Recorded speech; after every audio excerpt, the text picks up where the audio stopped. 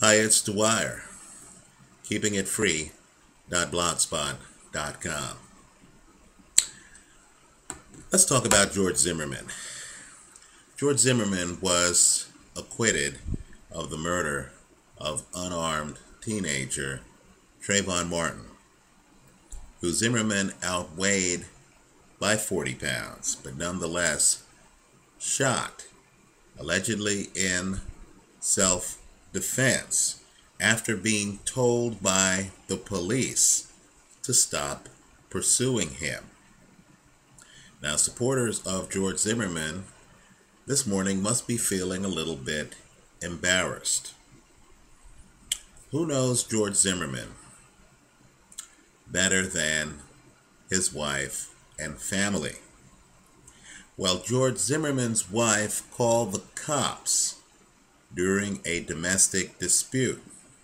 Let's hope that the press covers this domestic incident as much as they covered the Zimmerman trial because it's revealing. In the wife's call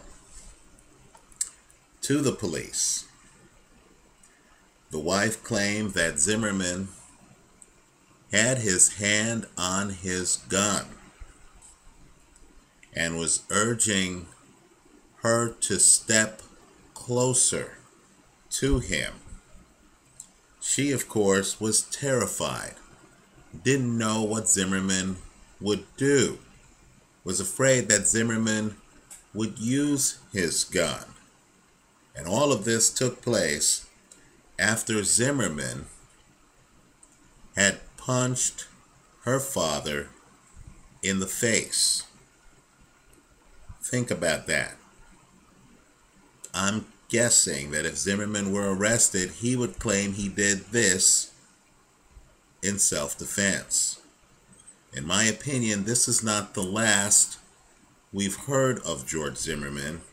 I believe he is a deeply troubled young man who is living with the fact that, in my opinion, he knows that he killed Trayvon Martin and got away with murder. Right? This story is going to be ongoing.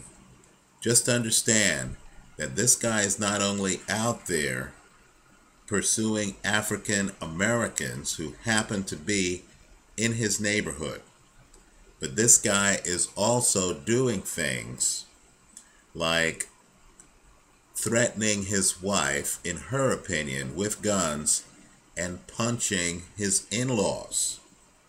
Right? If you supported George Zimmerman, I want you to consider the fact that you may have supported an unstable, troubled man. Let me hear from you leave your comments for us. I'm going to continue to follow George Zimmerman because I thought the Trayvon Martin verdict was a travesty of justice.